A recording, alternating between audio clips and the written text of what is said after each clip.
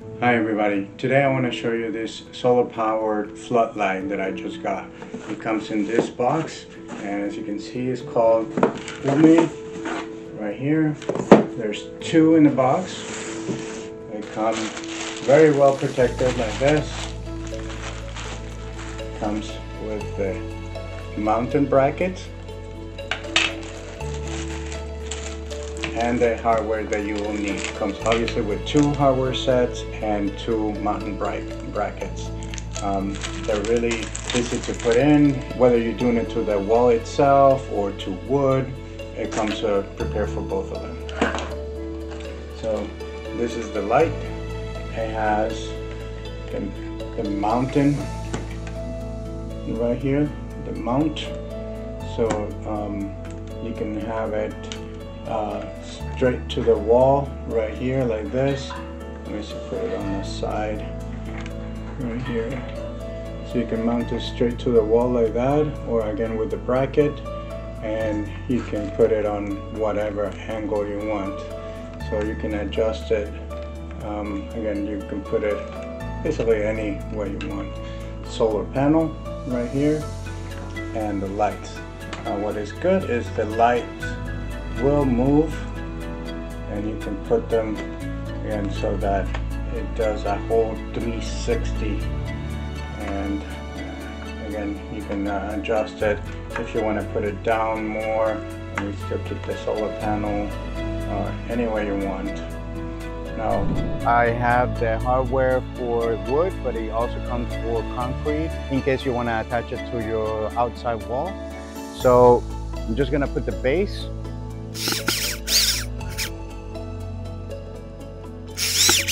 So now to attach the light is very simple. It has the base right here that you would uh, slide here and then it will click.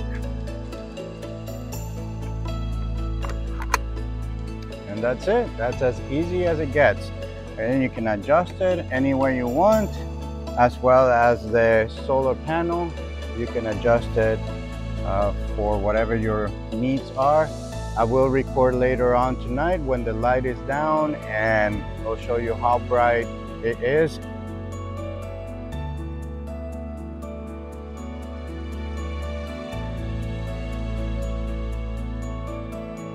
this two right here are the sensors.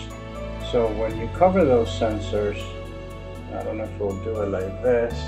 I'll have to turn off the light. But when you cover the sensors, light will come on. Let's see if it does. Oh, there we go. Yeah, but I have too much light here. But it is. See? Hmm. Yeah, it won't stay long, but it is again because of the light in the studio.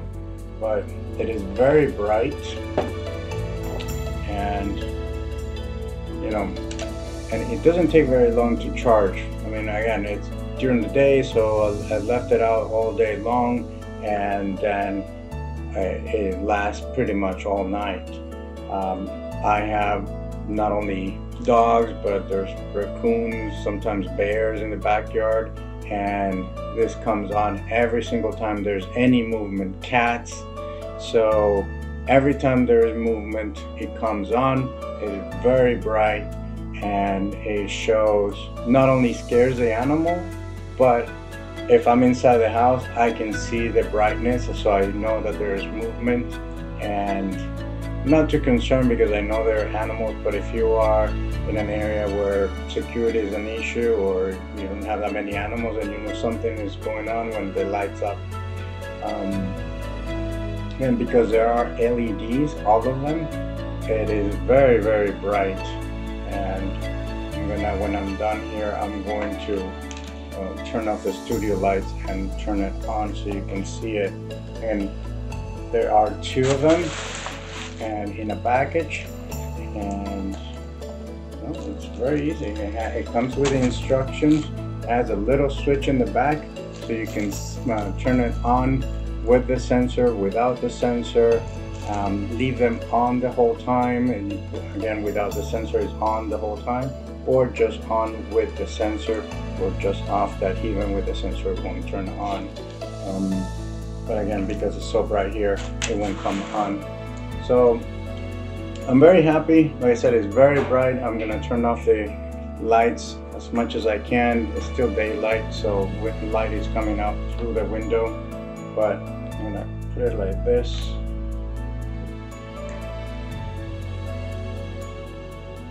I'm gonna turn off the lights and see what happens so again as you can see I already turned all all the lights in the studio off, but I'm still getting light from the window. So unfortunately, it won't stay on. It's not dark enough.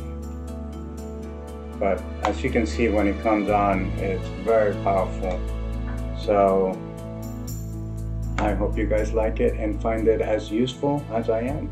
And I'll show you how the sensors also easily pick up any movement around. They're very, very sensitive. So I'll be back.